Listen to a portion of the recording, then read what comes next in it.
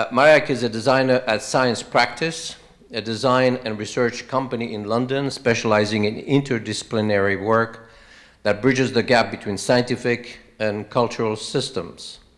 His interest and practice span a number of disciplines and a range of media, but always pivot, I like that word, around the central problem of visual communications. Kultys has worked on research and design projects focusing on creation and practical use of visual communication in a variety of applications and for a wide range of audiences. For example, collaborations with the European Bioinformatics Institute, Polish Ministry of Finance, Immunocore, etc. Graduated with a MA in Communication Design from Central St. Martin's College of Art and Design in London, Kultys also serves as the Chief Design Officer at Bento Bioworks, where he oversees the development of the first personal laboratory for collaborative biosciences. He publishes, speaks, and exhibits internationally. Kultys, thank you. Thank you. Uh, ladies and gentlemen, uh, Mr. Chair, hello and thank you uh, for the opportunity, opportunity for uh, being here with you today. Uh, as you heard, my name is Marek Kultys. I'm a visual communication designer. And uh, Lingua Extraterrestris is the title of my master's thesis, written in 2011, uh, and under the supervision of Ken Hollings, in which I explore the limits of communication in the context of SETI. Today I will summarize my investigation and discuss uh, it on four examples from science fiction. But before I do that, let me explain why a designer became interested in SETI in the first place. Uh, as you heard, I work at Science Practice. Uh, we uh, try to bridge the gap between scientific and cultural systems. And we are also uh, a very small team of like-minded people who are very lucky to have their professional work very closely aligned with their personal interests as well. And communication and the intersection of uh, science and culture are in the uh, center of my personal interests. Uh, this image got me interested in SETI in the first place. And when I say CETI, I mean SETI with a C, uh, just for clarity. Uh, like a lens, uh, this image focuses cultural, scientific, societal, and technological problems associated with SETI. But primarily, is a human attempt to communicate to an alien mind. And it most poetically and beautifully failed to do so. With the Pioneer plaque, I started to explore the limits of communication and the questions one tries to answer when imaging, when ima imagining uh, an extraterrestrial uh, inspecting the plaque. There are many models uh, that frame communication as a process and phenomenon uh, but they are always derived from specific needs, uh, fields of application, which makes them not general enough uh, to frame SETI as a whole. The Jakobson model of communication uh, gives an outline of linguistic functions in verbal communication, and the Shannon-Weaver model frames the process of signal transmission in telecommunications. For this investigation, I created uh, my own set of parameters borrow, borrowed from these two models. And uh, these are, these as you see here, you can call them lenses. They focus on selected aspects of the communication process that are speci specifically relevant uh, to SETI. The channel lens is borrowed from the Shannon and Weaver model, whereas contact, context, and code are taken from the Jakobson model of communication. In practical terms, uh, all four lenses can help in the formulation of the contents of the message that we would send. But before we go any further to discuss uh, science fiction, uh, I would like to warn you about the spoilers. If you hate being told what happens in films and books, uh, this might be the moment when you want to consider if you want to hear any further. Okay, no one's leaving. We start with channel. Uh, Shannon defines channel as merely the medium to transmit the signals from transmitter to receiver. And uh, there are many examples of this uh, kind of channel. beyond also uh, just signal transmission in his model. It can be the 1.42 gigahertz radio frequency selected for Project Ozma.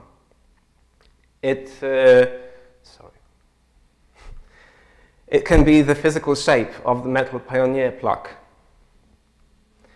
And uh, it is also the vibration of air uh, carrying my voice to your ears. In this novel, uh, in his novel uh, titled Solaris, Stanisław Lem, a Polish science fiction writer, tells the story of the impossibility to find the channel for communication. The plot follows uh, human scientists based on uh, planet Solaris. And Solaris is, uh, entirely, is entirely covered by the ocean. And the ocean is a single planet-sized organism which is sentient and intelligent. And human scientists make numerous attempts to communicate with Solaris using a range of channels. So they use uh, visual observations, uh, they use nuclear explosions, they use uh, hard X-ray radiation, and everything fails. Uh, no communication can be established with the, with the organism. At the same time, the ocean exercises its own channel, with, uh, which is completely unfamiliar to human scientists. It is some kind of a mental channel through which the ocean probes human minds and accesses their deepest memories. Uh, later, those memories are manifested in the form of visitors, that is, projections of people with whom scientists had tragic personal relationships. One of the channels used by scientists uh, uh, uh, of the ocean, none of those channel, uh, channels used by scientists of the ocean are actually serving any communication here. Instead, we see a sequence of actions and reactions, experiment and failures, which with each party being uh, probed by another through various physical or mental uh, media.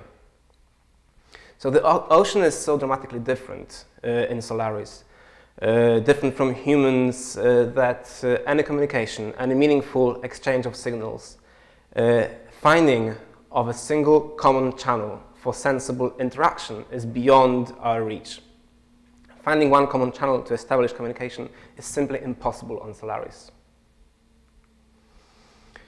But suppose that we found that channel. Once it is there, uh, contact later has to be established. Jakobson defines contact as the function of language used to establish, to prolong, or to discontinue communication. So, for example, when the phone rings, it tells us that there is someone on the other end of the line, uh, and we pick up because we know that that person has something to tell us. Any signal, in principle, any signal emission can become a transmission once we get confirmation that someone is receiving it. And uh, contact is a key phase in the communication process when both parties share the awareness of being contacted.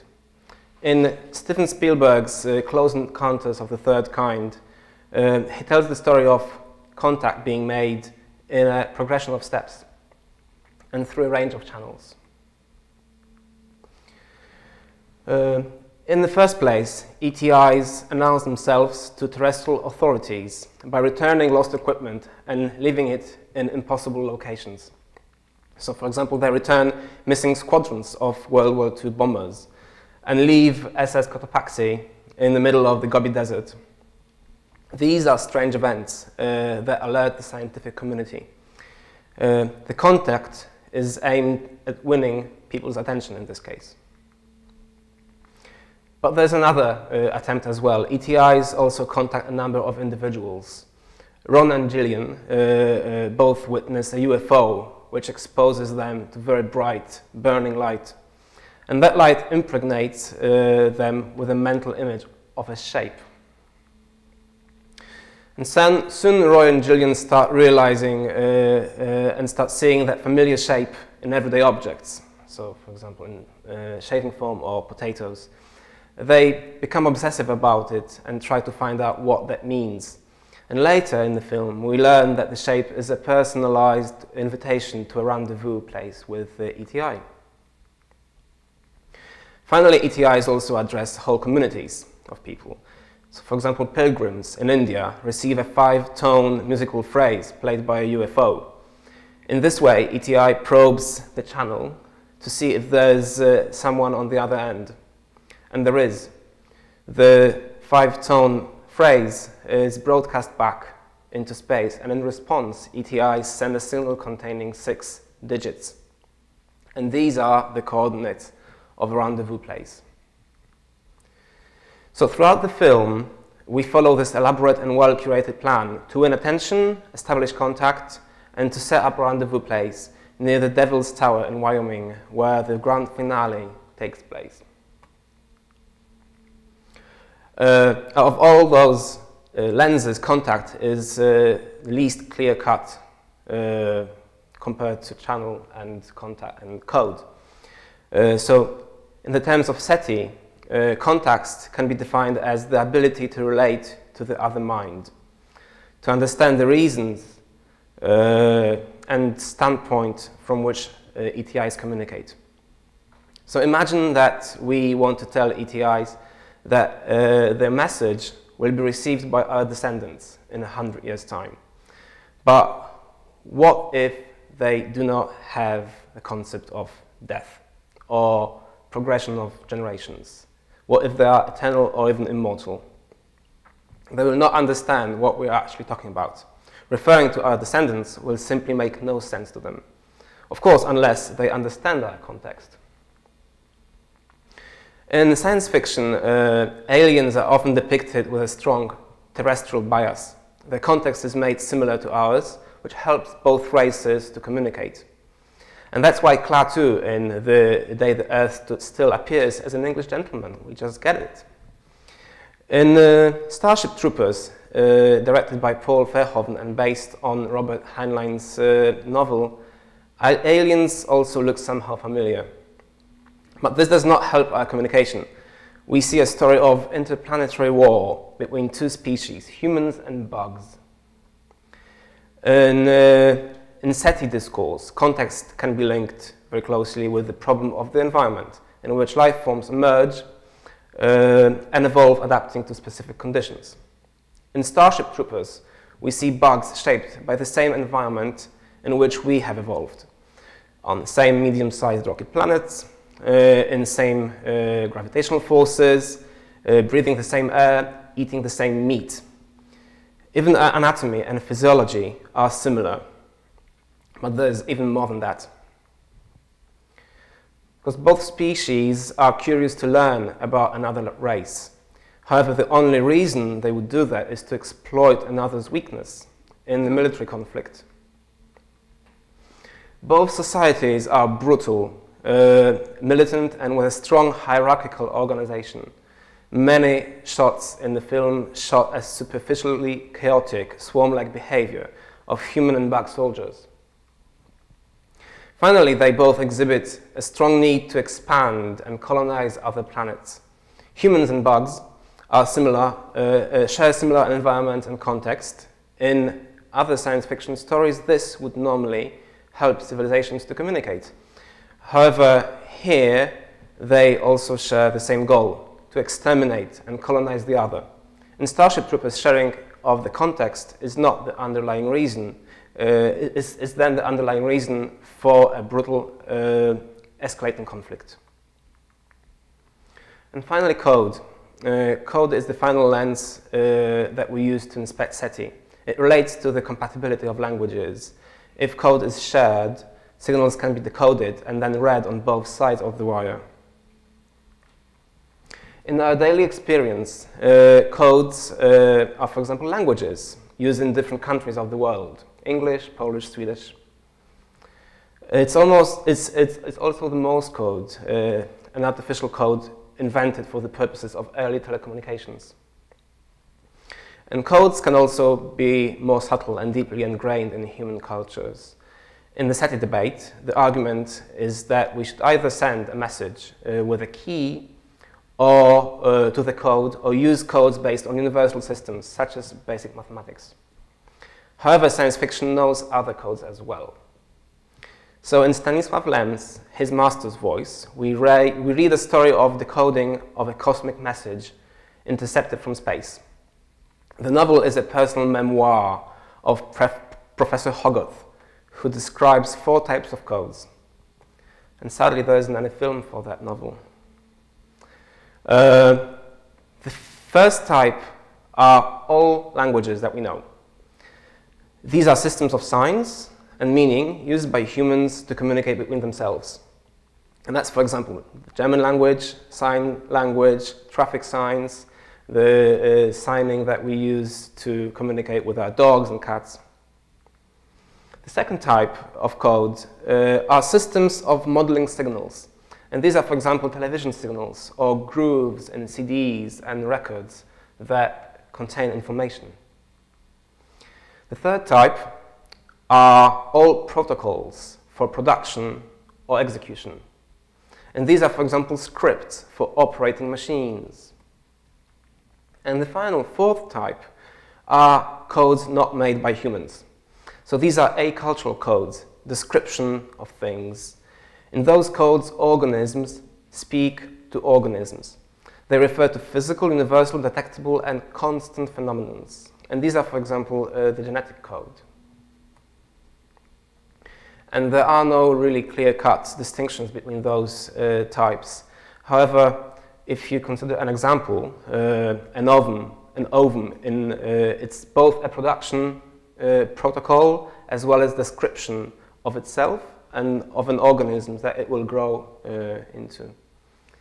The interstellar message in his master's voice turns out to be an acultural code in the end, something between type 3 and 4, so a combination of a production protocol and an acultural description of the thing.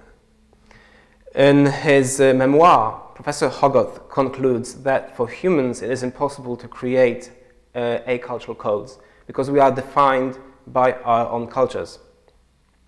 All codes created by humans must contain traces of culture. And uh, this cultural contamination can never be reduced to zero. To finish, I would like to share two recommendations for further work in SETI. The first one is to look for useful methods of refining uh, the components of the Drake equation. Uh, so as Doug uh, observed in the beginning, some components are pretty well defined and we have a good idea of uh, what they are. Other require further explanations as to what should be considered uh, as their contributing factors. And to give you better definitions of what uh, does the FC component involve, uh, I suggest to consider it as a composite of four subcomponents so channel, contact, context, and code. Looking at the FC component through those four lenses can help us better anticipate what it uh, takes to establish communication with an alien civilization somewhere in our galaxy. And naturally, there can be more subcomponents uh, apart from these four. Uh, and even across the whole equation, there can be other sets of subcomponents for other elements of the Drake equation, which just get more resolution uh, as, we, as we subdivide that into simpler parts. And the second recommendation uh, uh, that I want to give is uh, include three speculative ideas, call them science fiction ideas for SETI, prepared by me and my colleagues at Science Practice. The first of those ideas is aimed, is aimed at championing a new channel for communication. Cytokines are signaling molecules used by our immune cells to communicate. So when an immune cell wants to warn other cells about an infection, they sound this chemical alarm by releasing cytokines into the organism. For SETI, we would follow the similar logic. Uh, so we propose to release vast amounts of signaling molecules into space thus opening another channel for communicating besides radio transmission. So when we were discussing those ideas, we started also asking questions uh, with my colleagues. So for example, what would we need, what, what the density would need to be for, those, for the space cytokine cloud to actually work? How can we maximize surface and minimize weight? Uh, and it is a uh, known fact that it's easier to detect larger objects, but more difficult to actually eject them into space because of the of, the, of, of their mass. Uh, and the, uh, another question is, for example, whether we can choreograph a release of those uh, cytokines into space so that they form certain shapes or maybe expand as they progress forward. Another idea is uh, uh, for finding the right moment and place for contact. Uh, so we have discovered many Earth-like planets using the transition technique. And it is possible that other uh, civilizations use similar methods when searching for us in space. So Earth would be a transiting planet from their perspective. We can use it for contact. In the spotlight is a proposal for altering the light curve graph of uh, transiting uh, Earth. Such beacon can attract attention to our planet and announce that we, can, that we seek contact with the others. So the question, for example, that we uh, discussed were whether we, what sort of light do we use? Do we use LEDs? Do we use lasers? Do we use reflected light from the sun?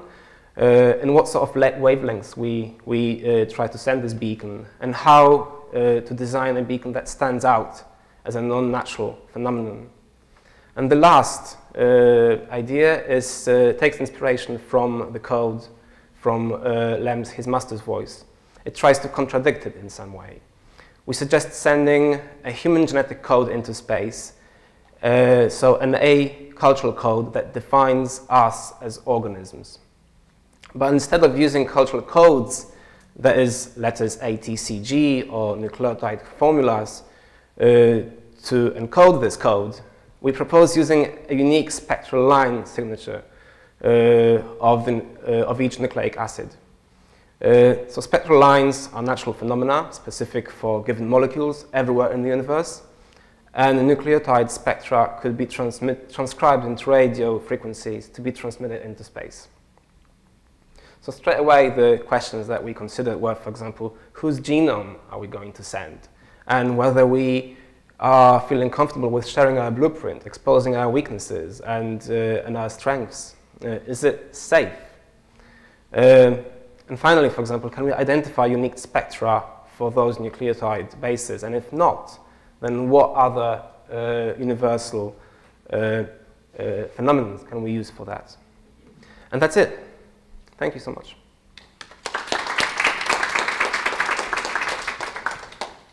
Thank you very much, Marek. You must have some Swiss blood because you finished exactly on time. well, don't send my genome, otherwise they'll think that everybody has a, a French accent. okay, uh, we have 10 minutes for questions. Anyone?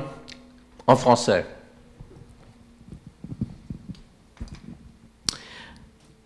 Don't you think that to, to send your DNA through space to, to try to communicate with an alien intelligence is not a little bit dangerous, not a little bit like to, to send the number of your credit card on internet in order to, to tell people you are rich and you, you could be friends with you? Definitely it is. I would not do that. Even more, I would never send the number of my credit card into space. That's even more dangerous than that. I actually uh, beg to differ. I think uh, sending your DNA is useless in the same sense that sending a key without sending the car um, is uh, kind of meaningless. It might tell the other end a little bit about how locks work, but um, without the mechanisms that interpret DNA, it's just a sequence.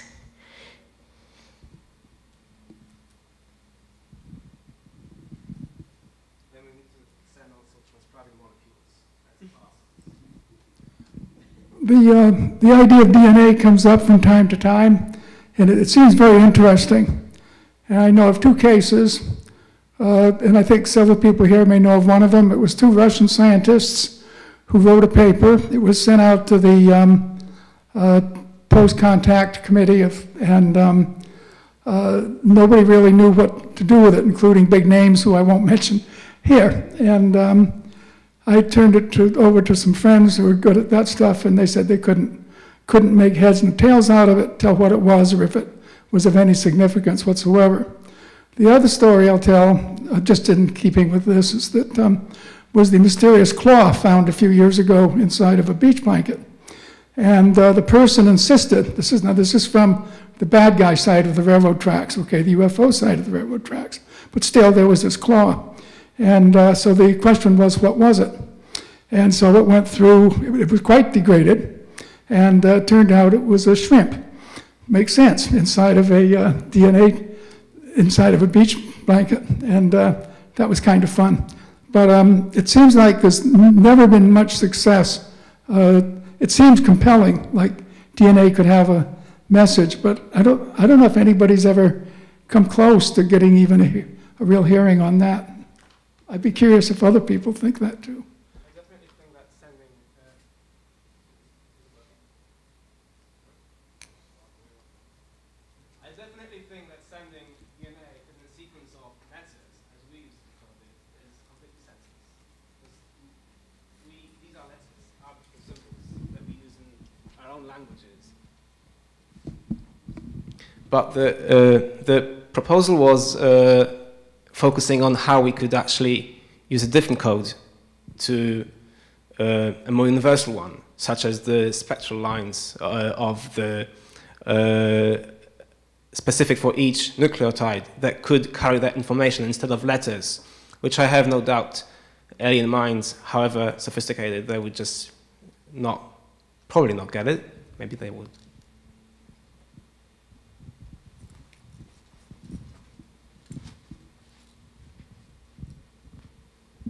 I apologize. I apologize for the redundancy, but sending the DNA, you could send the DNA of uh, everyone. That's about in, in the world at an, on an optical link in about 10 to the 7 seconds, which is about a year. On the other hand, your DNA is the same as this guy's DNA at the 99.9, and I don't even know how many nines percent level, which means you can take out all that redundancy, and so send everybody's DNA certainly in less than a day, Okay, that's not the trick, as Kim has already pointed out. The, the trick is what do you do with that information and how you encode it. That, that's fairly straightforward. You have to identify the four nucleotides, and then you just send uh, you know, the, the two bits for each nucleotide that you need. So that's very straightforward. But how they put it together at the other end is the, the tough part. And so maybe what you have to attach to all the DNA of all the humans in the world, which is maybe a good idea because that way we've preserved 21st century humankind, uh, is to send uh, instructions for a 3D printer in a way that they might understand to take the DNA and, and make something of it. That sounds like a hard problem to me, but maybe not an impossible one.